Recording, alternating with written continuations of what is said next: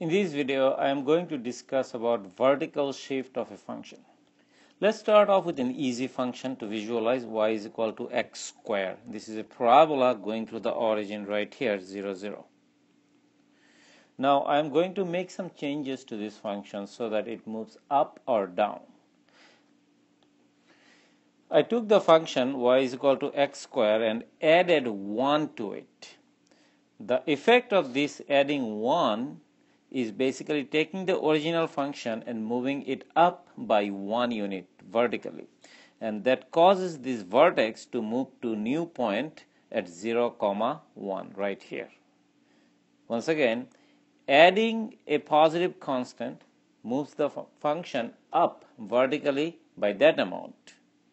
And as you can see in this particular example I have taken y is equal to x squared and moved it up vertically by one unit just by adding 1 to x square.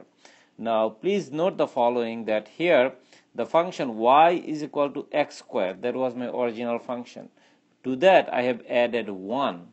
This is an outside change. Outside change. Meaning it's not a change under the square. Okay? So as you'd expect for an outs outside change adding a positive constant moves the function up by that unit. And of course you can guess subtracting 1 from this function y is equal to x square is going to take this original function and move it down by 1 unit. Here it is.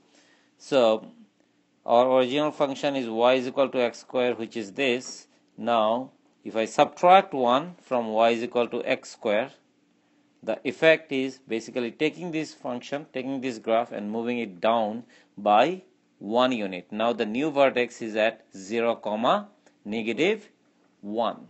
Now once again this subtraction of 1 is from the x square. That's an outside change. Remember that. It's not an inside change. It's not a change inside the square. So this is an outside change.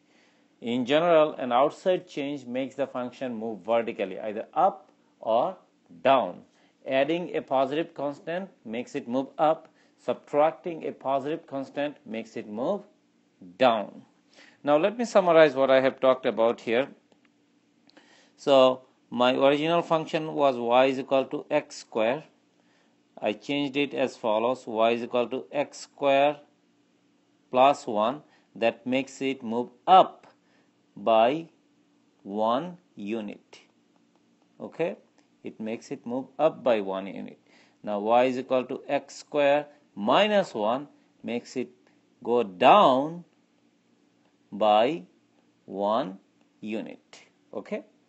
In general if you have a function y is equal to f of x and you, you make the following changes to the function. We are making an assumption that k is a positive constant meaning k is greater than 0 then y is equal to f of x plus k is going to make it move up by k units.